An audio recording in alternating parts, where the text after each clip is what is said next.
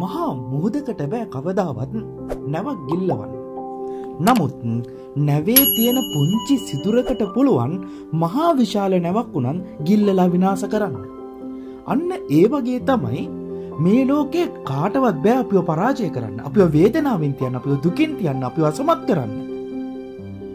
අපිව අසමත් කරන්න අපිව පරාජය වෙන්න අපිව වේදනාවෙන් තියන්න අපිව දුකින් තියන්න හේතු වෙන්නේ අපේ රිනාත්මක සිතුවිලිම තමයි.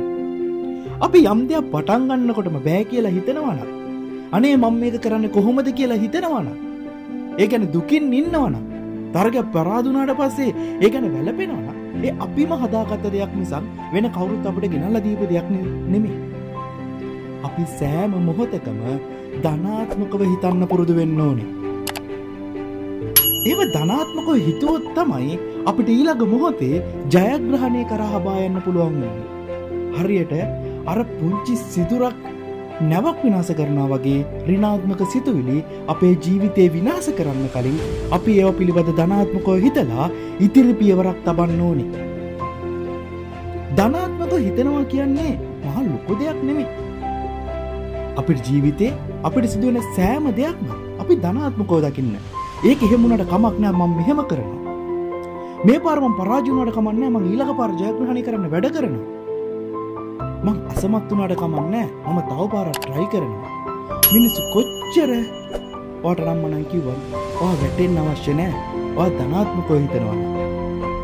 මේ ලෝකේ වෙනස් කරපු චරිත ගත්තොත් බිල් ගේට්ස් වේවා, ස්ටීව් ජොබ්ස් වේවා, ජැක් මාලා වේවා අපි ලංකාවේ කතා කරොත් නවලෝක මුදලාලි, නන්දා මාලනි මේ කියන හැම චරිතයක්ම ධනාත්මකව හිතපු නිසා තමයි අද ඉහළින්ම වැජබෙන්නේ.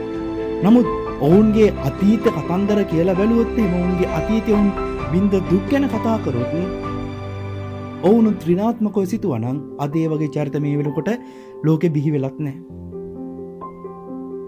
අපි ඒ නිසා සෑම මොහොතක්ම ධනාත්මකව හිතන්න පුරුදු වෙන්න ඕනි.